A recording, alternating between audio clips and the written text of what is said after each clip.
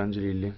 A facoltà adesso, onorevole Toia, restiamo in Italia per un minuto e mezzo. Grazie.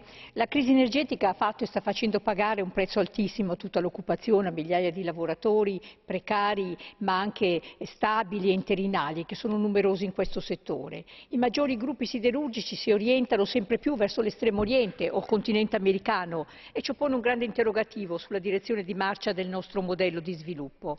Io penso che l'Europa debba recuperare l'idea che un sistema manifatturiero come il nostro ha bisogno di solide produzioni di base in grado di fornire il mercato interno europeo. Dobbiamo perciò difendere questo settore, il ruolo di una siderurgia stabile, l'appoggeremo signor Commissario, se vogliamo fermare il declino industriale. E io credo che mh, dobbiamo uscire un po' da un dualismo che stasera qui non è echeggiato, ma che spesso si sente nelle discussioni su questo settore, un dualismo tra i sostenitori dell'ambiente e quello dei lavoratori, che è sbagliato perché non ci fa vedere una prospettiva di futuro. Un'industria che veda la siderurgia come parte integrante ha bisogno di sistemi produttivi avanzati, di concrete e equilibrate soluzioni che salvaguardino gli interessi diversi, le diverse esigenze.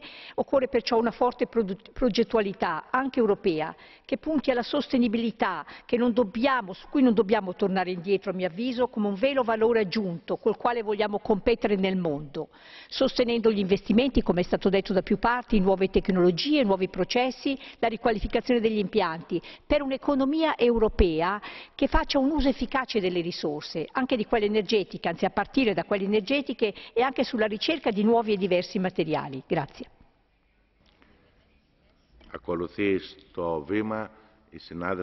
Grazie.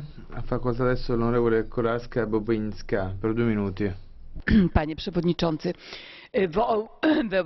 Grazie Presidente. In Europa, eh, come in Polonia, ci sono